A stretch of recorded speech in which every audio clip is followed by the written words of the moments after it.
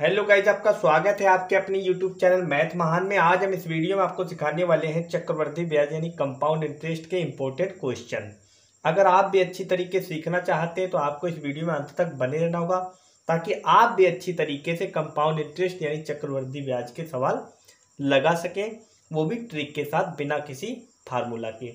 आइए आपको सिखाते हैं। क्वेश्चन नंबर एक आपके सामने लिखा हुआ है, यदि दर पंद्रह प्रतिशत समय एक वर्ष छः माह तथा चक्रवृद्धि ब्याज नौ दशमलव चार पाँच रुपया हो तो मूलधन ज्ञात करें। देखिए, पिछले वीडियो में आपको हमने सिखाया था दो वर्ष के लिए चक्रवृद्धि ब्याज या मूलधन निकालना। आप आसान तरीके से निकालना सीख गए होंगे। चक्रवृद्धि ब्याज निकालना हो या मूलधन निकालना हो। इस वीडियो में समय दे रखा है एक वर्ष छः माह। यानी ये समय है दो वर्ष से भी कम। तो इस प्रकार के सवाल को कैसे लगा पाएँगे वो भी ट्रिक के साथ देखिए। सबसे पहले क्या करेंगे, पंद्रह प्रतिशत को बदलेंगे भिन्न में। तो पंद्रह प्रतिशत को जब भिन्न में बदला जाएगा तो आएगा तीन बटे बीस। अब देखिए आपको करना क्या है, जो बटे वाली संख्या है, बीस। इसका करना है आपको स्क्वायर।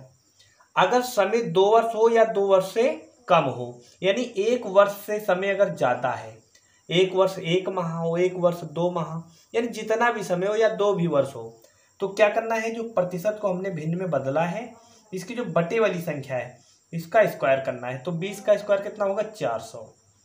चार सौ यहाँ पे लिख लेंगे, ठीक है? ये मान के चलते हैं कि ये मूलधन है, ठीक है? अब क्या करेंगे, पहले वर्ष के लिए और दूसरे वर्ष के लिए, तीन बटे बीस निकालेंगे, इसी चार सौ का। तीन बटे बीस तो देखिए, चार सौ का जब तीन बटे बीस निकालेंगे तो साठ आएगा।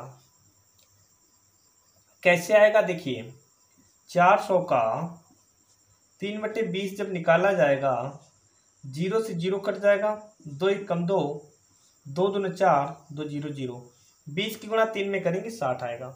तो देखिए, जो पहले वर्ष के लिए ब्याज आया है, वही ब्याज दूसरे वर्ष के लिए आएगा। यानी पहले वर्ष का ये साधारण ब्याज होता है। तो दूसरे वर्ष का भी ये साधारण ब्याज ही निकलता है। कितना? साठ रुपया।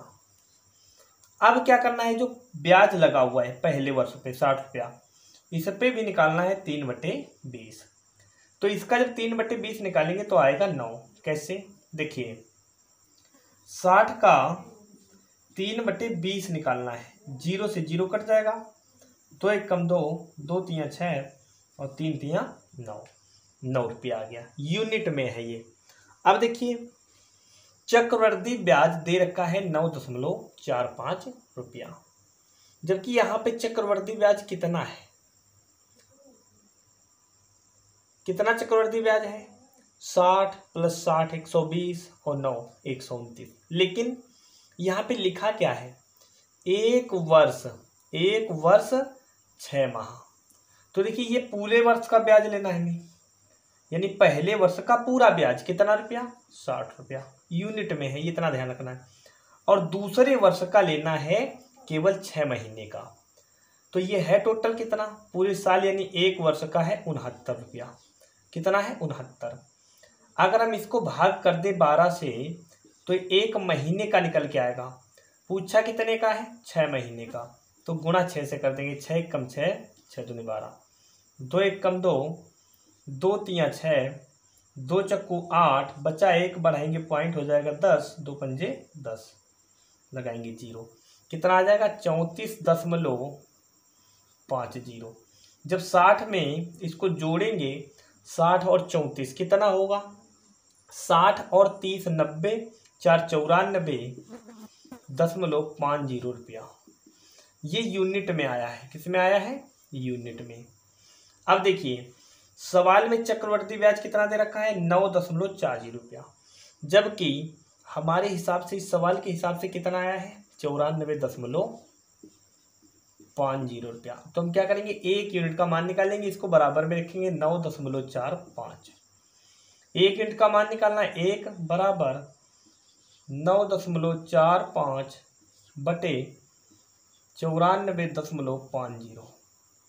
अब देखिए क्या करेंगे? दशमलव दशमलव हटा देंगे, यानी दशमलव से दशमलव कट जाएगा, क्योंकि बराबर अंकों पे लगा हुआ है। नौ सौ पैंतालीस एक कम नौ सौ पैंतालीस एक कम बटे में ज़ीरो है तो एक यूनिट का मान आया एक बटे दस। अब जो भी पूछा हुआ है, आप निकाल सकते हैं। क्या पूछा हुआ है? मूलधन पूछा हुआ है। अगर मूलधन पूछा हुआ है, प्रिंसिपल पूछा हुआ है, मूलधन को बोलते हैं प्रिंसिपल। तो मूलधन हमने कितना माना है? चार सौ। किसकी गुणा करनी है? एक बटे दस की। क्योंकि यूनिट में, ये यूनिट में है। तो गुणा कर देंगे तो ज़ीरो से ज़ीरो कट जाएगा। कितना आ जाएगा? चालीस रुपया। तो जो मूलधन है, वो आ गया चालीस रुपया। ये हो गया इस सवाल का आंसर। उम्मीद करते हैं आपको समझ में आ गया होगा कि एक वर्ष छः माह का ब्याज कैसे निकाला जाता है ट्रिक के साथ। चलिए बात करते हैं क्वेश्चन नंबर दो की। बहुत ही गजब का क्वेश्चन है, इसलिए आपको इस वीडियो में अंत तक बने रहना है और ट्रिक के साथ ऐसे बेहतरीन से बेहतरीन क्वेश्चनों को लगाना सीख जाना है। आइए आपको सिखाते हैं क्वेश्चन नंबर दो, कैसे लगाया जाएगा। देखिए क्वेश्चन नंबर दो। यदि दर साढ़े बारह प्रतिशत, समय एक वर्ष चार माह तथा चक्रवृद्धि ब्याज एक हज़ार एक सौ रुपया हो तो मूलधन ज्ञात करें। देखिए, जैसा आपको सवाल हमने पहला लगवाया है, वैसा ही सेम सवाल है। कैसे करना है? देखिए, सबसे पहले जो प्रतिशत लिखा हुआ है, इसको बदलना है भिन्न में। तो साढ़े बारह प्रतिशत को जब हम भिन्न में बदलेंगे तो कितना आएगा? एक बटे आठ आएगा। अब यहाँ पे समय अगर एक वर्ष से ज़्यादा है तो ये जो बटे वाली संख्या है, इसका स्क्वायर करके लिखना है।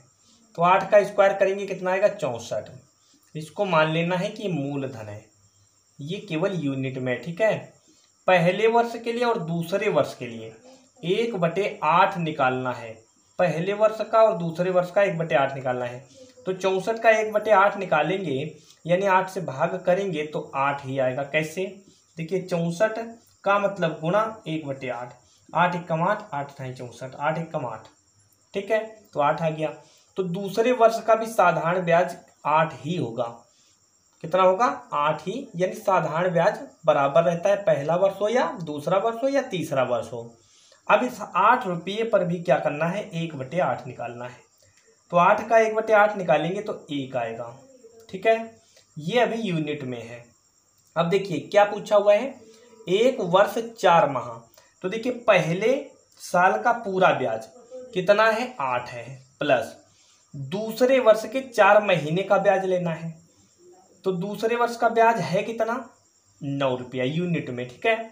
अगर नौ रुपया पूरे साल का ब्याज है तो बारह महीने का कितना होगा? बारह से भाग करेंगे। और पूछा है चार महीने का तो चार महीने का कितना होगा? गुणा करेंगे चार से। बात इतनी समझ में आ गई होगी। ये पूरे साल का ब्याज है। बारह से भाग करेंगे तो महीने का ब्याज होगा। और गुणा करेंगे उसके बाद चार से तो चार महीने का होगा। चार एक कम चार चार तिया बारह। तीन कम तीन तीन तिया नौ। कितना यूनिट आ गया? तीन यूनिट। तो आठ में तीन जोड़ेंगे, कितना आ जाएगा? ग्यारह यूनिट आ जाएगा। ये यूनिट में है, जबकि सवाल में चक्रवृद्धि ब्याज दे रखा है एक हज़ार एक सौ रुपया। तो हम क्या करेंगे? एक यूनिट का मान निकाल लेंगे। ग्यारह एक कम ग्यारह ग्यारह एक कम ग्यारह ग्यारह ज़ीरो ज़ीरो, ग्यारह ज़ीरो ज़ीरो। एक यूनिट का मान आ गया एक सौ रुपया। ठीक है? अब जो भी पूछा हुआ है, उसका आप मान निकाल सकते हैं। मूलधन ही पूछा है, यानी प्रिंसिपल मूलधन पूछा है प्रिंसिपल पूछा है। हमने कितना यूनिट माना है? चौंसठ यूनिट इसमें गुणा कर देंगे एक सौ की। कितना आ जाएगा? छ हज़ार चार सौ रुपया। देखिए, किसी भी संख्या में अगर आपको दस से गुणा करना हो तो वो संख्या लिख करके एक ज़ीरो लगा दें। और अगर आपको सौ से गुणा करना है यानी एक सौ से करना है तो दो ज़ीरो लगा दें। अगर एक हज़ार से करना होता तो तीन ज़ीरो लगा देते। तो जो प्रिंसिपल है, मूलधन है, कितना आ गया? छः हज़ार चार सौ रुपया। ये हो गया इस सवाल का आंसर। उम्मीद करते हैं आपको ये सवाल समझ में आ गया होगा कि कैसे आप इस प्रकार से ट्रिक के साथ लगा सकते हैं। चाहे एक वर्ष तिहत्तर दिन का ब्याज निकालना हो या एक वर्ष जितने भी महीने का ब्याज निकालना हो। तो अगले वीडियो में आपको सिखाएँगे एक वर्ष तिहत्तर दिन का, एक वर्ष और भी समय जितना भी दे रखा होगा, इस प्रकार के सवाल जो बहुत ही अच्छे सवाल होंगे। ये भी बहुत ही अच्छे सवाल थे, अगर आपने इनको सीख लिया है। अगर दोस्तों ये वीडियो आपको अच्छी लगी हो, ट्रिक पसंद आई हो तो चैनल को सब्सक्राइब कर लीजिएगा और वीडियो को अपने दोस्तों में ज़रूर शेयर कर दीजिएगा। और बेल आइकन की घंटी दबा लीजिएगा ताकि हमारे द्वारा जितने भी वीडियो डाले जाए, उसका नोटिफिकेशन सबसे पहले आप तक पहुँचे।